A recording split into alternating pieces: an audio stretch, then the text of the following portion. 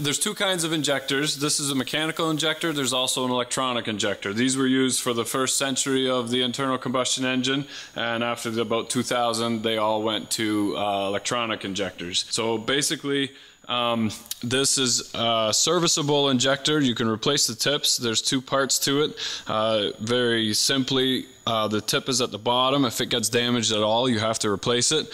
Uh, inside here is a giant spring that pushes on the injector tip with a couple thou clearance for fuel to run around the outside body on here. So as the injection pump um, applies pressure to the, the fuel. The fuel will leak to the side of the injector tip and then push against the spring and seat, uh, unseat the tip from the body. And then as it does, it will spray the fuel out. And because that pressure is gone, the spring will seat it again uh, almost instantly. So what we want to check is for a nice spray pattern and to make sure that it doesn't leak or drip, um, which is very undesirable. These, uh, like I said, you can replace the tips, are serviceable and are reasonably cheap.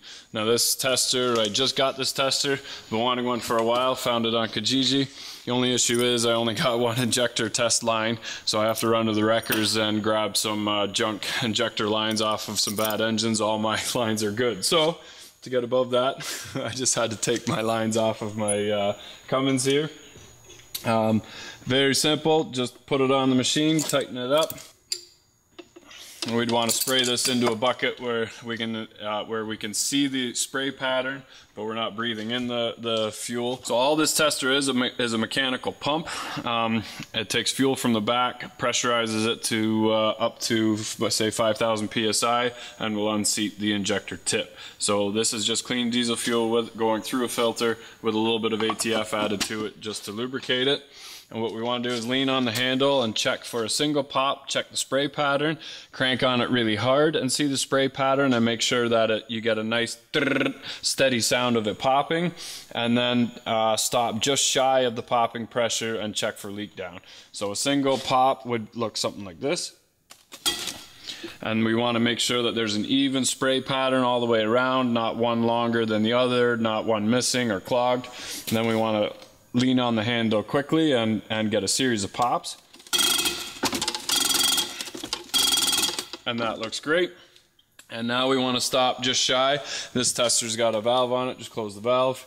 As I'm closing the valve, I'm increasing the pressure on it, tighten it up, let it sit, um, dry it off after the spray, and make sure that there's no leaks coming out there anywhere.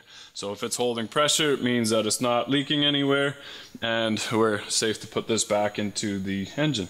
And that's all there is to it. The electric injector will work exactly the same. The test procedure is a little different.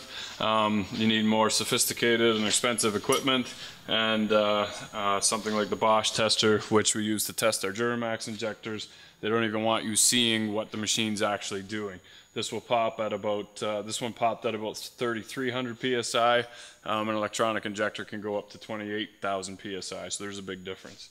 And that's all there is to it.